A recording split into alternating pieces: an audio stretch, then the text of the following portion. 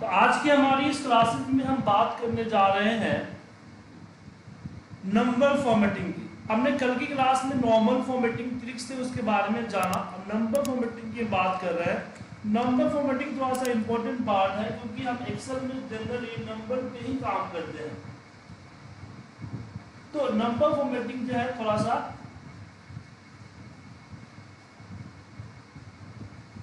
Important part है, इसका ध्यान आप लोग रखेंगे। तो नंबर फॉर्मेटिंग मतलब कि नंबर की फॉर्मेट करना जब इस पर आप क्लिक करते हैं, क्योंकि तो जो फॉर्मेट सेल है, इसमें हमने आपके साथ डिस्कस किया था। हमने अलाइनमेंट आपके साथ डिस्कस कर लिया था फॉर्म कर लिया था बोर्ड कर लिया था फिल कर लिया था। तो आप बोलेंगे, सर, इसमें तो सब कुछ नहीं बताया। तो इसमें मोस्टली चीज़ तो आपको खुद पता हो जाएगा। जो चीज़ें बताने लायक थी, मैंने बता दिया। फिर भी आप चेक कर लीजिएगा। अगर कोई डाउट होगा तो मुझसे पूछ लीजिएगा। अब नंबर फॉर्मेटिंग की हम बात करते हैं। आप जो आपने जो यहाँ पे नंबर लिखा हुआ है, अगर मैंने यहाँ पे जो डिफ़ॉल्ट जो जनरल आप बोलते हैं मतलब जैसा लिखेंगे, उसी तरह से डिफ़ॉल्ट आपका रहेगा।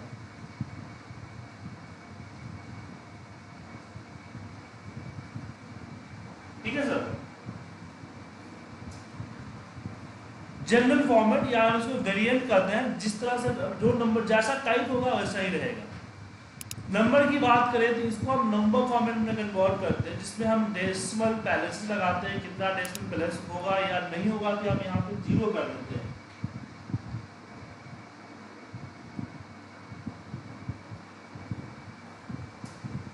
ठीक है? और यहाँ पे थाउज़ेंड सेपरेटर होता है कि हाँ थाउज़ेंड सेपरेटर लगाया जाए। उसके बाद यहाँ नीचे आप देखते हो निगेटिव नंबर्स मतलब कि अगर नंबर नेगेटिव में हो तो क्या नेगेटिव माइनस का साइन दिखेगा? या फिर कलर रेट हो जाएगा, या ब्रैकेट में हो जाएगा, या फिर ब्रैकेट में और कलर रेट दोनों हो जाएगा। बट इंडिया में माइनस भी शो करते हैं करेंसी की बात करें तो करेंसी में एक करेंसी का सैम्बल या करेंसी कोड या ऐड हो जाता है। जैसे आप यहाँ पे आई एन आर ऐड कर सकते हैं करेंसी कोड हो गया। तो करेंसी कोड एंड करेंसी दोनों ऐड कर सकते हैं। उसके बाद अकाउंटिंग में जस्ट करेंसी कोड ही यूज़ कर सकते हो। क्योंकि अकाउंटिंग का हम लोग यूज़ करते हैं। मैं अभी आपको बताता हूँ कि अकाउंटिंग का हम लोग ऑफ़िस में यूज़ करते हैं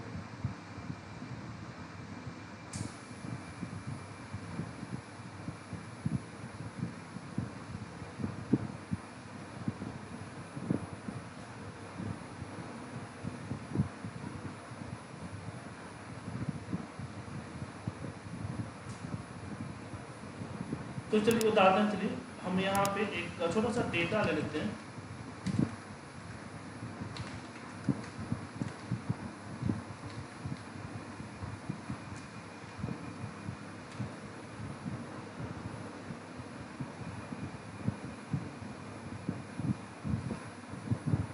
कॉपी करके वैल्यू पेज कर देते हैं।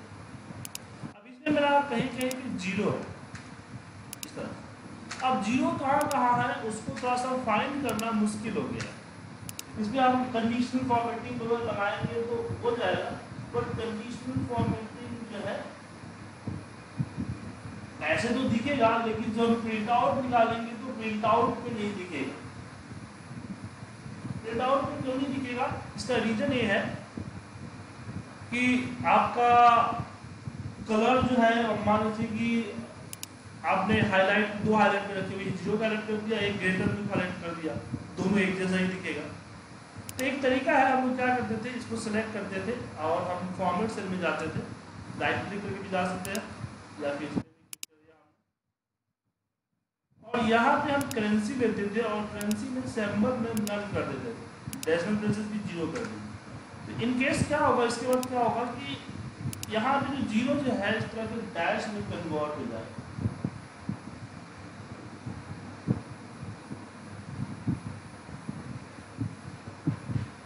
ठीक है सर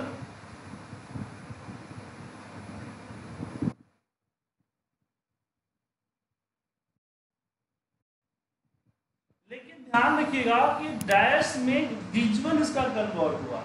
ओरिजिनल इसका ज़ीरो ही है सर। क्योंकि कोई भी फॉर्मेट किसी भी तरह की फॉर्मेटिंग जो है, आपकी ओरिजिनलिटी को चेंज नहीं कर सकता है। आपकी दस विजिबिलिटी को चेंज करेगा। ठीक है ओरिजिनल जो है, वही रहेगा। ओरिजिनल चेंज नहीं होगा। चाहे किसी भी तरह के फॉर्मेट आप क्यों नहीं यूज़ करें इसका ध्यान रखिएगा। चलिए आगे बढ़ते हैं इसमें। उसके बाद यहाँ नंबर फॉर्मेटिंग में नेक्स्ट हमारा पास आता है डेट डेट आप अपने हिसाब से, जैसे आप डेट जैसे कोई डेट लिखते हो आप यहाँ मान लीजिए मैं आज का डेट लिखता हूँ तो 326 में लिखा एंटर मारा तो डिफ़ॉल्ट ए फॉर्मेट हो जाता है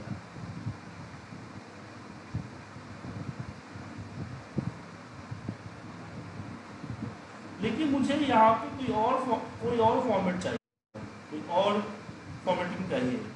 तो तो यहाँ आप जो है राइट यहाँ पे राइट क्लिक करके या फिर फॉर्मेट में जाके डेट में अपने हिसाब से डेट दे सकते हो। और डेट अलग अलग कंट्री के हिसाब से अलग अलग फॉर्मेट है। तो अपने कंट्री के अकॉर्डिंग अपना फॉर्मेट चूज़ कर सकते हैं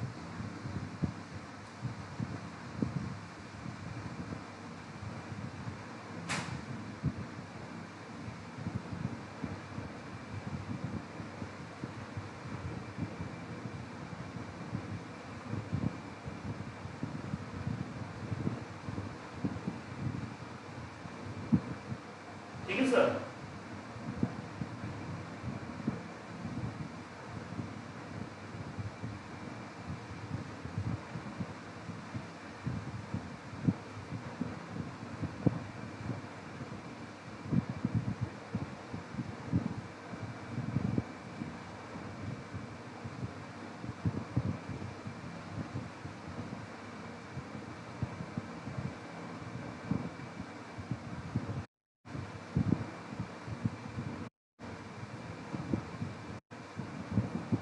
उसके बाद ये टाइम का फॉर्मेट है टाइम में भी अलग अलग कंट्री है।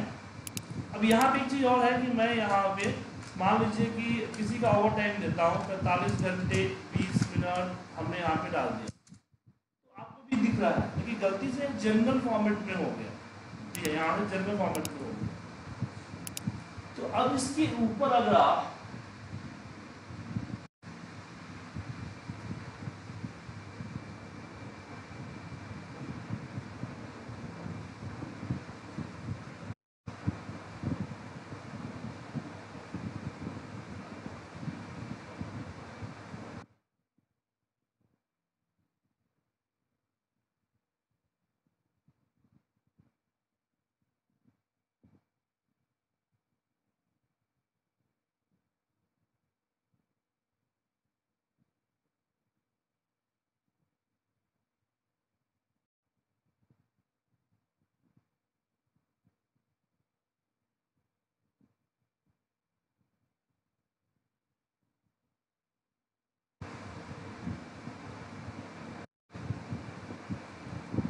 फॉर्मेट सेल पे जाए डेट पे जाए, और यहाँ से आप अगर कोई और फॉर्मेट चूज़ करते हो,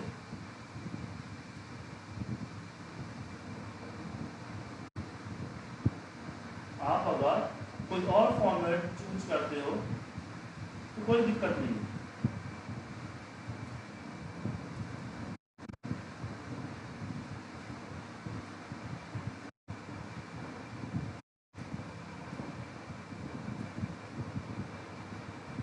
लेकिन मैं, आपका जो है इसमें क्या होगा कि 24 घंटे से ऊपर आएगा ही नहीं। लेकिन अगर आपको 24 घंटे से ऊपर चाहिए तो ये आपका सैंतीस, तीस पचपन वाली जो फॉर्मेट है, उसको आप सेलेक्ट करें।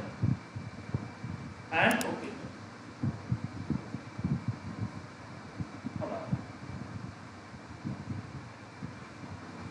ठीक है सर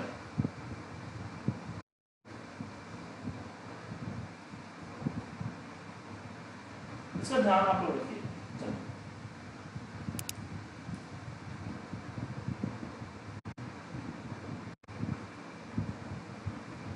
अब इसमें आगे बढ़ते हैं। टाइम के बाद हमारा फ्रैक्शन ये होता है परसेंटेज होता है।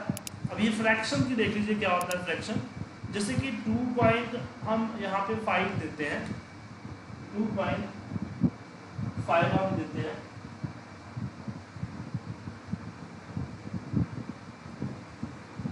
और इस पर राइट क्लिक करके मैं यहाँ फॉर्मेट सेट पे जाता हूँ। और यहाँ फ्रैक्शंस में वन एंड हाफ़ को सिलेक्ट कर लेता हूँ। और बहुत सारे हैं वन एंड हाफ़ सिलेक्ट कर कॉपी कर दीजिए।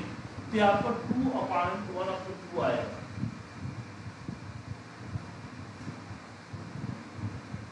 ठीक है सर तो इस तरह की चीज़ें आप कर सकते हैं।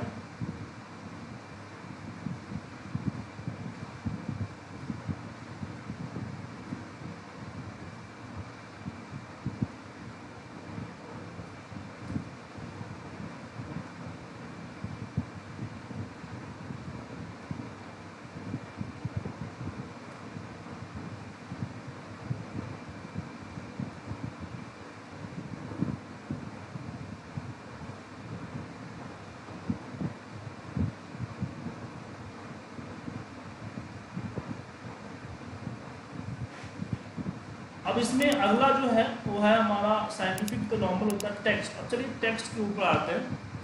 अब जैसे कि मान लीजिए कि इस कॉलम में मुझे चेक नंबर लिखने हैं राइट तो zero zero one two six करते हैं। तो इसमें दिक्कत होता है कि आपका ज़ीरो एक्सेप्ट नहीं करता है।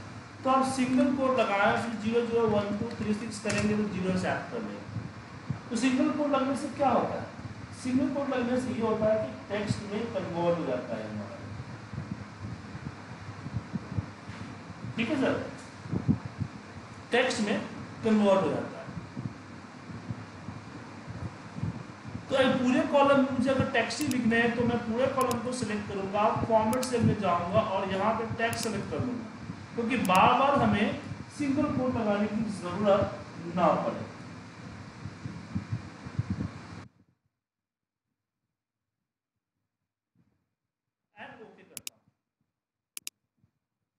मैं यहाँ पे किसी तरह का नंबर लिख सकता हूँ, वो ऑटोमेटिक टेक्स्ट में ही जाएगा।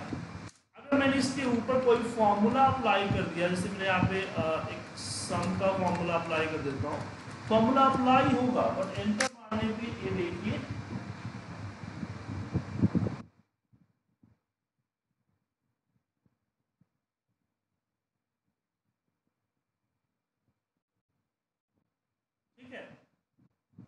केवल वही होगा। इसका यूज़ हम आगे भी बताएँगे आप। लेकिन मान लीजिए कि आपके पास किसी ने चेक नंबर लिख के भेजा है और उसने ज़ीरो नहीं लगाया। अब यहाँ पे आता है कि ज़ीरो नहीं लगाता तो ज़ीरो मेंटेन कैसे करेंगे तो उसका, उसके लिए हम यूज़ करते हैं custom form format custom format में हम आएँगे यहाँ और यहाँ पे one two three four time हम ज़ीरो डाल देंगे आप देखिए यहाँ पे आपकी कस्टम फॉर्मेटिंग आपके सामने। है ऐसे मान लीजिए कि मैं मोबाइल नंबर लिखना चाहता हूँ, लेकिन उसमें प्लस नाइन वन लगाता हूँ तो प्लस नाइन वन नहीं लगता है। क्योंकि प्लस लगते हैं उसमें जब प्लस माइनस और इक्वल से फॉर्मूला स्टार्ट होता है तो अपने आप को फॉर्मूला समझ लेता है।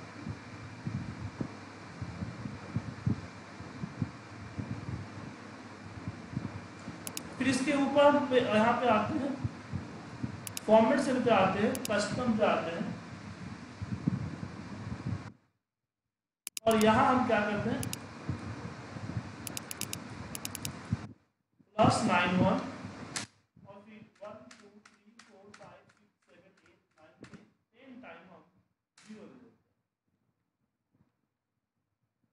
plus nine one लगाने की ज़रूरत नहीं है, हमें यहाँ सिर्फ़ मोबाइल नंबर लिखना है। एंटर मारते ही देखेंगे कि आपका एक और रिज़ल्ट आ जाता है।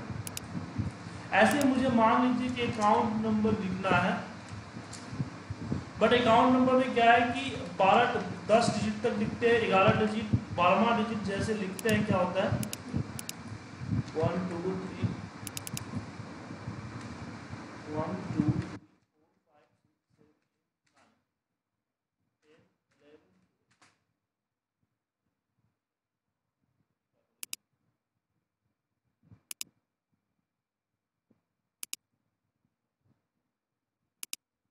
तो ये साइंटिफिक फॉर्मेट में चला जाता है।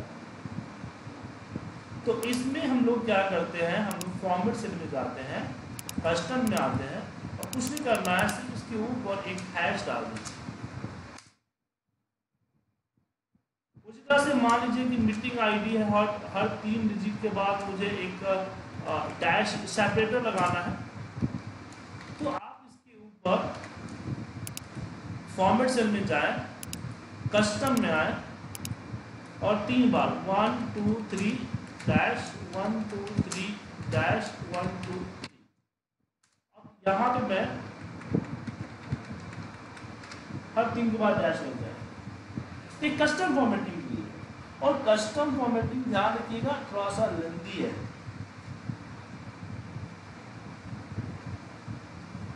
ठीक है सर कस्टम फॉर्मेटिंग थोड़ा सा लेंदी है। लेंदी क्यों है? क्योंकि इस, इसके जो कोड्स है ये कोड आपको पता होनी चाहिए।